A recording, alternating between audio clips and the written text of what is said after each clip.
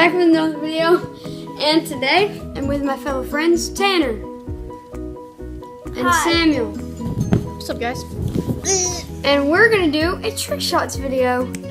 So, let's get started. Alright, so Tanner's starting us off with the flooring, the floor to the ceiling. So go. Yeah, boy. Go! Alright. Yes!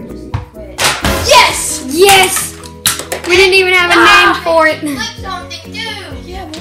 Yeah, yeah. I have a really good trick. I'm gonna need a water bottle for like there for Make it into the cup. Here we go. Hey, yeah, boy. Yes!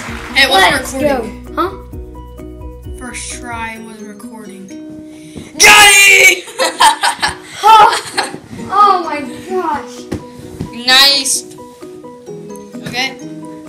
We'll do the next trick shot. Sam with the over the fan. Boom! Let's go. This is how a couch potato does a trick shot. Ah, boy.